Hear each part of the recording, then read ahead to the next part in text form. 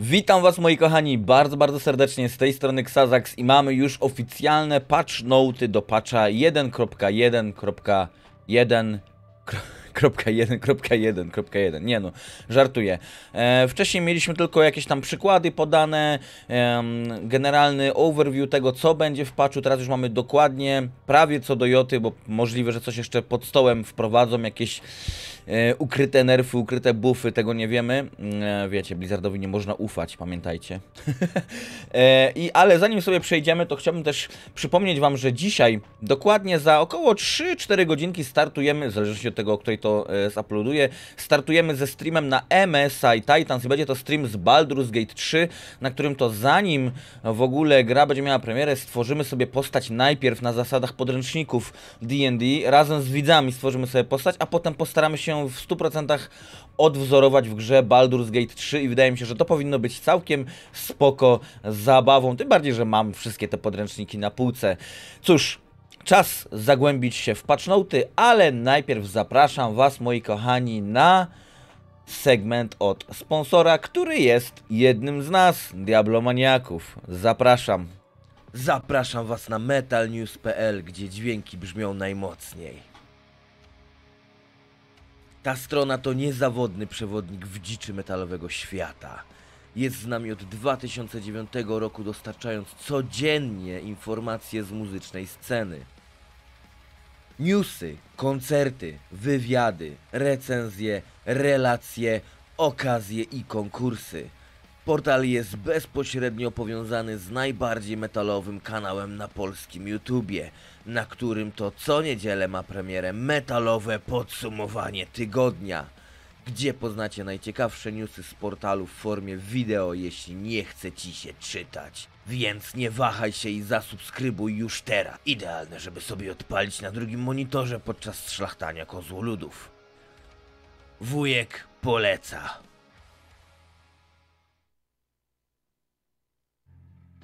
Moi kochani, jesteśmy. Prawie nie widać, że to jest w locie wszystko nagrywane, prawda?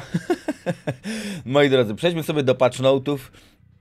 E, pamiętajcie, żeby kliknąć w link, zasubskrybować kanał Metal News, e, zerknąć na stronkę, bo według mnie wszystkie rzeczy robione przez pasjonatów są godne uwagi na pewno. Nawet jeżeli nie do końca Was interesuje muzyka metalowa, to wesprze Diablomaniaka zawsze warto. E, moi drodzy, mamy wszystkie platformy. Zaznaczam, że ten patch wchodzi 8 sierpnia w grę, czyli już będziemy 5 dni ogrywali Baldur's Gate'a. Na ile ten Baldur's Gate mnie wciągnie, zobaczymy. Jestem pewien, że na pewno będę się jarał przynajmniej przez pierwsze kilka dni, jak no nie wiem co. nie chcę przeklinać, tutaj bardzo kulturalny materiał. Mam zamiar zrobić, pewnie nie wyjdzie. Em, więc pewnie tego ósmego, zaraz zerknę sobie na kalendarz, kiedy to wychodzi. Ósmy to jest wtorek i mam wtedy na rano, czyli mógł postreamować sobie te zmiany. Wtorek, środa, nawet czwartek. No to, moi drodzy, odpalimy sobie, może taki pomysł mam, moją czarodziejką, a zaraz zresztą przeczytam, co dokładnie jest w tych patchnotach. Moją czarodziejką sobie spróbujemy odpalić bez żadnych zmian w buildzie i zobaczymy, czy przeżywalność będzie faktycznie lepsza. Mam najgorszą czarodziejkę na serwerze e, Diablo 4 ever. No ale cóż, Zajrzyjmy o co chodzi. Ogólnie najpierw jest taki overview, do, e, o co tam dokładnie chodzi. E, tak, buffy dla wszystkich klas, praktycznie e, największe dla czarodziejki i dla barbarzyńcy. U czarodziejki skupiono się na przeżywalności w e, endgame'ie oraz na e, zminimalizowanie po, takich kiss curse efektów, czyli efektów, które z jednej strony nas buffują, ale z drugiej strony coś nam zabierają w pewnym sensie. Co jest Kurczę, mam. Co do tego, to oczywiście, no, czarka zsiepała, jeżeli chodzi o przeżywalność w ogóle, ale jeżeli chodzi o ten kiss, kiss curse, to zamiast usuwać curse, nie tyle co zbafowałbym kiss, co uczyniłbym go ciekawszym.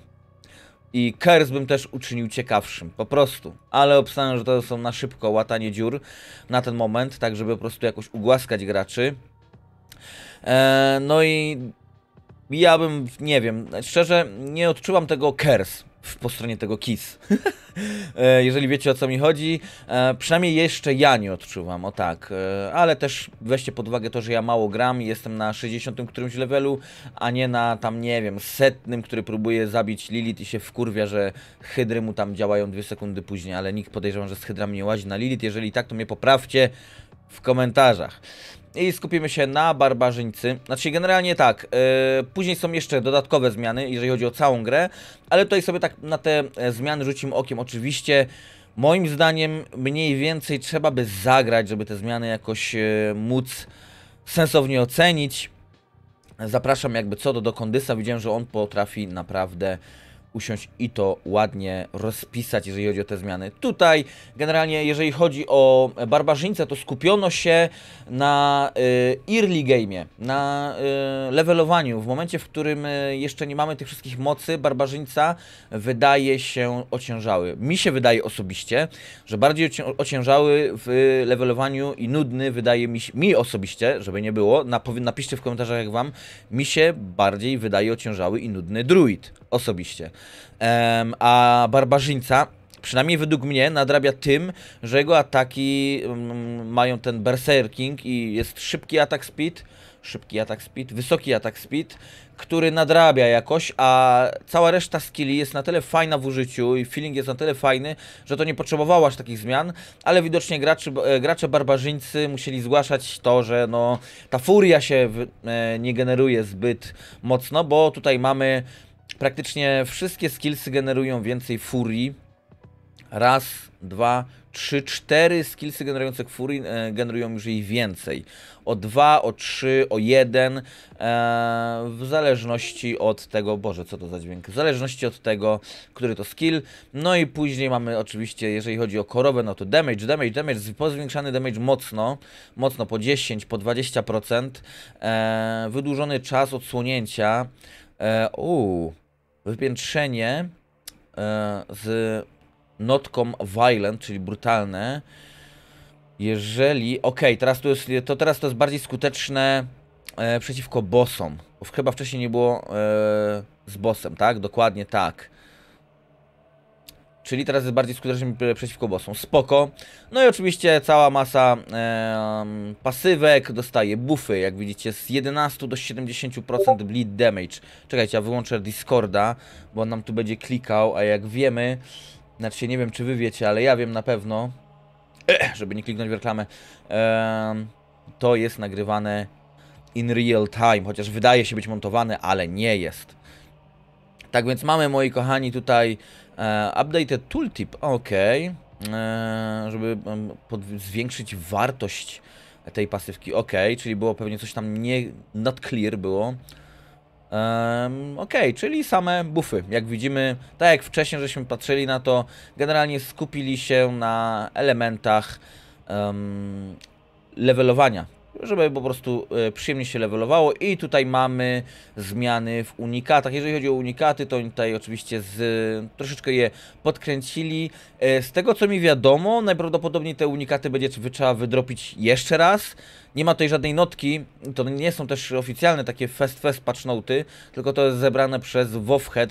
Obstawiam, chociaż mogę się mylić, że na oficjalnym forum jest napisany e, komentarz twórców razem z porównaniem, ale obstawiam, że to jest to, co oni mówili, czyli te um, unikaty mają troszeczkę większy sens, mają na przykład um, przy, przy, którymś tam unikacie podawali przykład, że teraz um, jakby ten unikat y, pompuje jakiś build, ale statystyki w nim są zupełnie nam niepotrzebne i teraz pozamieniali je tak, żeby były e, bardziej pod build zmontowane. Jeżeli się mylę, napiszcie w komentarzach, że się że pierdolę, naprawdę. Miałem nie przeklinać, ale wiem, że napiszecie, że pierdolę, bo patch jest chujowy i Diablo 4 jest chujowe, poe lepsze. Tak, wiem. Już dzisiaj byli u mnie wyznawcy of Exile ze swoimi książeczkami i mnie uświadom uświadomili, chociaż jestem świadomy od 2011 roku. Rogal, małe bufy, skromne bufy. Eee, damage increased, ok, poison trap. E, zwiększony ten. I Rain of Arrows dostał na przykład, to jest jedna z umiejętności, która była dosyć słaba, mi się podobała jej, jej feeling, uwaga kurwa, wujkowi się podobał feeling czegoś bardziej niż działanie, mi się podobał jej feeling e, ze względu na dźwięk i na impact jaki ona robiła, ale faktycznie, kiedy wystrzeliwali, wystrzeliwywaliśmy pierwszą e, falę tych strzał, to te moby się rozbiegały i druga fala już ich nie powalała, albo powalała tylko część ich. Teraz powala już pierwsza fala, czyli zmiana jak najbardziej na plus. Tutaj mamy znowu 10% Lucky Hit Chance'a zwiększonego i takie drobne. Ok, i z unikatów... E, Windforce e, dostał all, aff, all stats affix replaced with vulnerable damage. Okay.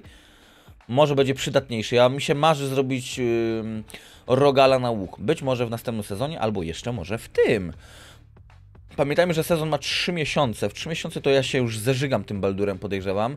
I wrócę sobie do streamowania em, Bald tfu, Diablo 4. Zresztą podejrzewam, że po półtora tygodnia gdzieś wrócę do streamowania e, Diablo 4. Tym bardziej od patcha to już na 100%. Word of Hakan e, Ultimate Damage Affix Replaced with Cooldown Reduction. Okej. Okay.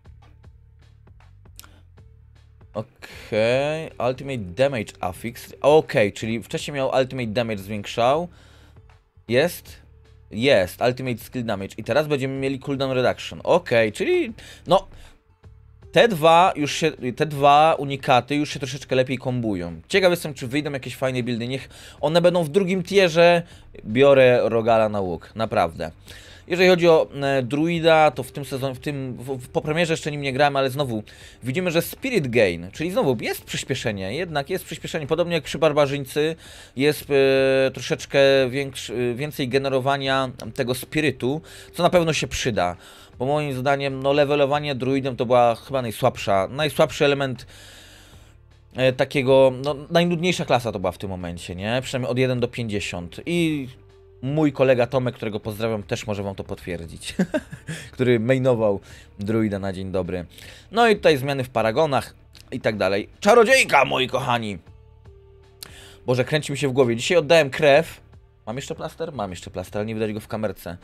I tak trochę mało zjadam, jak dużo gadam, dużo tlenu mi ucieka i mi się kręci w głowie, ale kawusia jest, więc się nic nie martwcie, kochani. Myślę, że za, spokojnie za kilka godzin od momentu, kiedy to oglądacie. Obstawiam, że jak to oglądacie, to już leci stream na MSI Titans i ja tam już tworzę postać w Baldurze. Zapraszam. E, Flickering Firebolt e, generuje dwa many, kiedy uderza przeciwnika. A wcześniej był, kiedy uderza płonącego przeciwnika, czyli dostał buffa jednym, jednym słowem. E, Fireball zwiększa Enhanced Fireball zwiększa radius, czyli zwiększa zasięg. Ok. No, zobaczymy jak to wyjdzie w praktyce, bo to jest dużo buffów do umiejętności, do takich nawet fajnych buffów. Eee, no niektóre oczywiście nudne, bo zwiększa damage i elo, nie? Ale niektóre są takie, wydaje mi się, tutaj znowu 5% damage'a z, wy, z Vir Mastery, S Ferocity, e, Combustion, Zobaczmy. Your burning effect deal 20% increased damage plus an additional 2% increased damage per unique source of burning. Ok, bo wcześniej robił tylko per unique. Ok, czyli z trzech różnych powiedzmy e, źródeł podpalenia żeśmy odpalali i wtedy dostawaliśmy bonus. A teraz mamy zwiększone burning efekty o 20%, ale po 2% dodatkowo. To jest zajebista zmiana. Generalnie coś czuję, że buildy ogniste będą miały dużego buffa i jaram się tym, bo ja bardzo lubię ogniste czarki. Aczkolwiek chciałbym zobaczyć coś takiego naprawdę, taką talraszę czarodziejkę, taką z, kurwa, z prawdziwego zdarzenia, a nie jakieś gówniane serce włożone w pierścień. Ale cóż, w Paragonach oczywiście Searing Hit. Ja chyba e, teraz idę do tej legendarnej notki. Casting... A nie, nie idę do niej na 100%. Casting Fireball or Meteor increase the critical strike chance. Ok, ba, ba, ba, ba, ba, ba. A teraz... Czy coś się zmieniło? E, increase the critical strikes chance następnych castów od, od tego skilla, a tu po prostu zwiększa. No i zajebiście.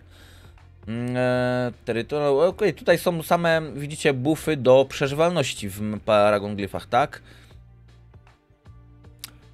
E, nie, tu jest damage. E, damage reduction. A nie, damage reduction, dobrze, nawet jest opisane tutaj na niebiesko. Wszędzie jest ten, ok.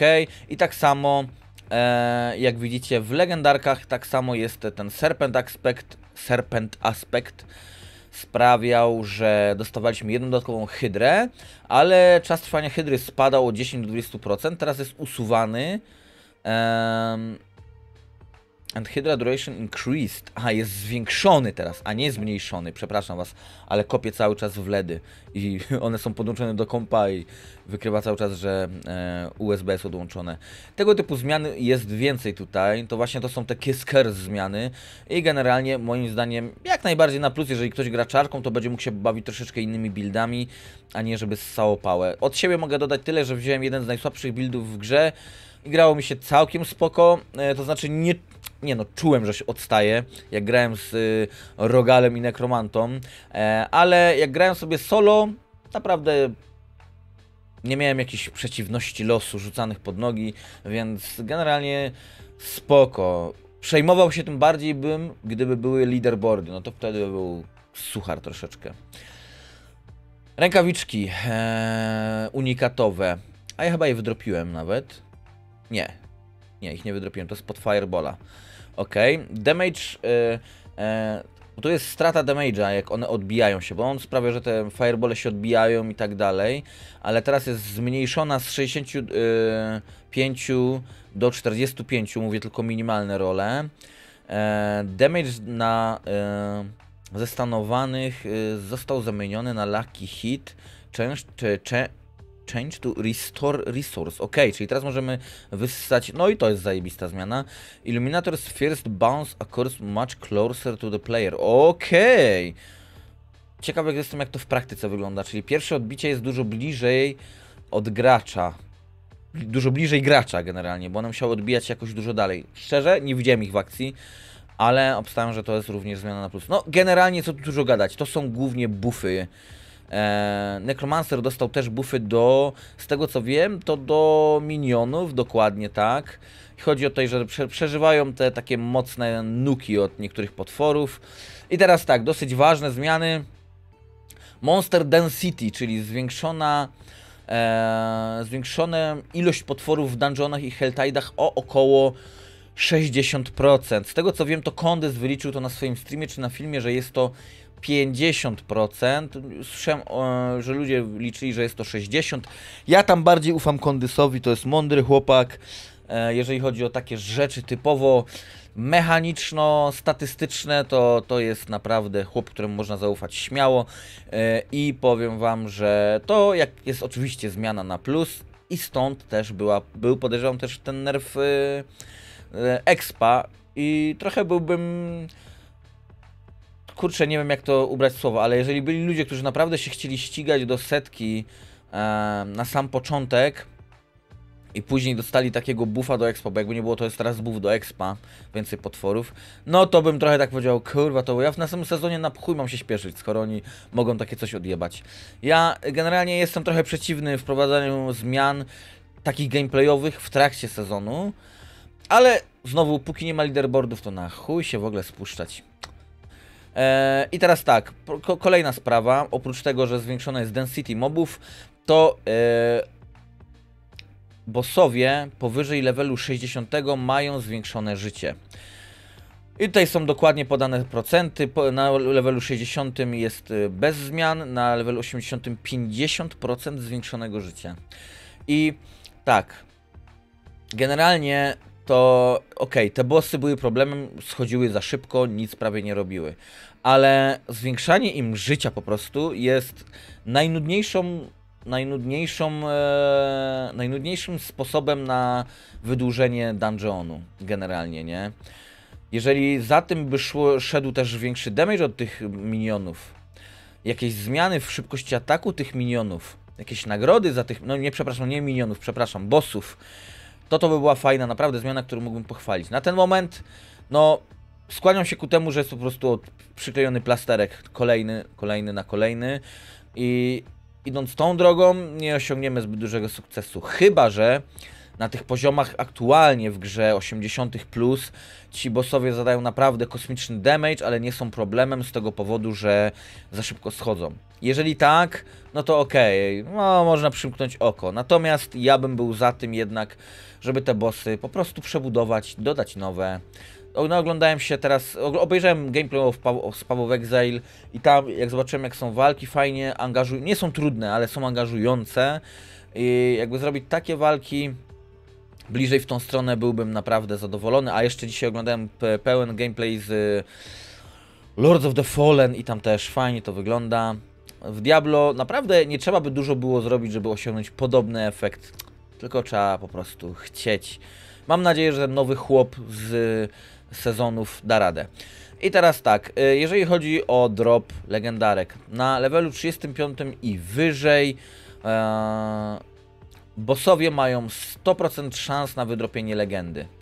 E, te legendy są gównem generalnie w grze i fajniej się będzie teraz, podejrzewam, farmiło dla tych, którzy, na którym na to zależy. Dla mnie zwiększanie dropu legend to jest po prostu susz, susz i tyle. Taka jest moja, taka jest moja Um, tym, tym, bardziej, że tych, te dungeony możemy farmić jak posrani po prostu. Możemy lecieć na dungeona, do którego jest najbliżej na bossa, zabić go reset, zabić go reset. To jest taka zmiana trochę z dupy, ale nie wiem sam co o niej sądzić. Natomiast jeżeli chodzi o gobliny, goblinów skarbników, to tutaj jak najbardziej zgadzam się, że powinny mieć zwiększony drop legendy, bo goblin to jest jednak taka dosyć, dosyć rzadka rzecz, rzadsza od bossa, nie da się jej tak ewidentnie farmić, chyba że Chyba, że się da, a ja nie wiem. E, I fajnie, i on ucieka, gonimy za nim, mijamy elitki. Generalnie zwykle się robi gnój, jak nie wiem, tym bardziej na, w trakcie levelowania. I fajnie, jak właśnie powyżej tego 15 poziomu e, będzie miał tą legendarkę gwarantowaną. To będzie moim zdaniem spoko zmiana akurat. No i e, e eventy legionowe mają zwiększony e, tak samo drop, e, gwarantowaną drop, jak, tak samo jak boss na 35 poziomie. E, e, e, no i tutaj zmiany, jak działają multiplikatory damage'u i efekty barier, jak interaktują z, interaktują z barierami wy widzicie tutaj w Paragon boardach. Nie chcę się tego rozbierać na części pierwsze. Bonus damage or bonus effects that are applied on non-hit when... Ok. Musiałbym poczytać jak to wyglądało wcześniej. Chyba, że Uh, the glyph will now apply vulnerable to enemies that have an active barrier.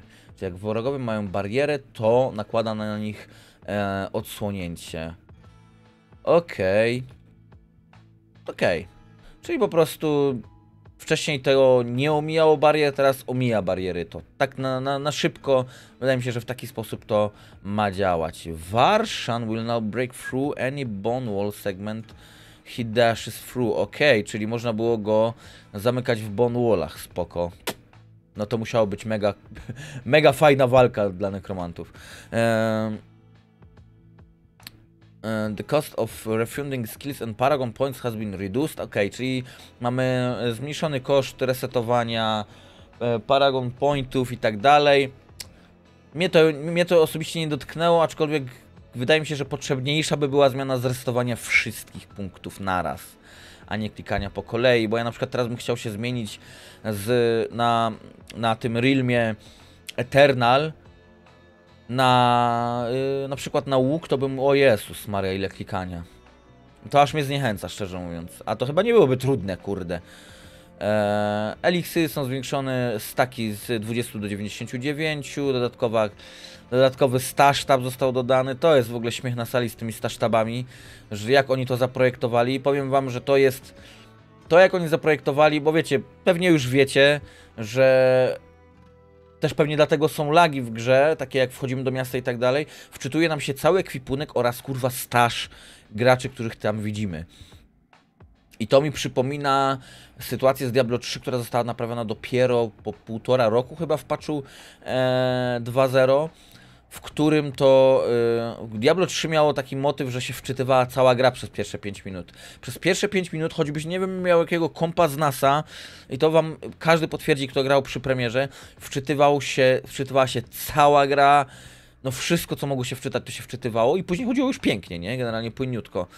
Ale te pierwsze kilka minut to była tragedia, po prostu normalnie obraz się zatrzymywał i wszystko stało momentami.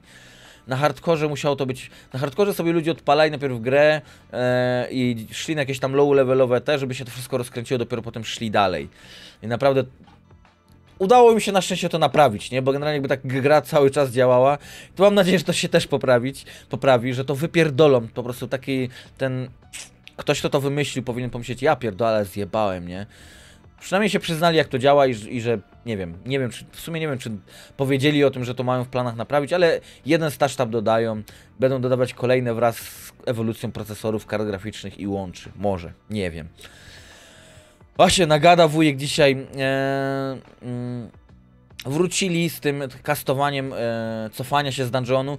Na poprzednim e, filmie, w którym robiłem podsumowanie tego, e, nie wiedziałem o co chodzi, bo tam było opisane to, że umiejętność wychodzenia z dungeonu i tak sobie myślałem, kurwa, serio, oni wydłużyli to i sobie myślę, no chyba nie chodzi o to opuszczanie dungeonu po prostu, bo to by było durne i tak jakby, kurwa, o chuj tu chodzi. W ogóle nie, o, ominąłem to, logika mi nie pozwala po prostu pomyśleć o tym, że oni to wydłużą po prostu. Ja bym po prostu to wyłączył na bossach a nie wydłużył, kurwa, żebyśmy dłużej to robili na bossach. Po prostu wyłączasz to na bossach i dopóki boss nie będzie pokonany, to się nie możesz cofać. Jelo, nie?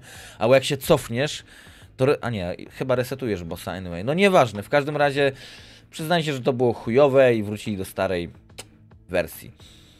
I to e, już omawiałem, więc takiej notki nie będę wam mówił. Tutaj zmiany w... E, w tych serduszkach, gdzieś tam jakiś bóg był, czy coś w tym stylu, tak? Upon taking damage Okej, okay, no zmiany w tych serduszkach, akurat tego chyba nie miałem, nawet after taking elemental damage gain register for, okej. Okay. A, zmniejszone. No spoko. Eee, w Teremity. Chyba mam te spodnie.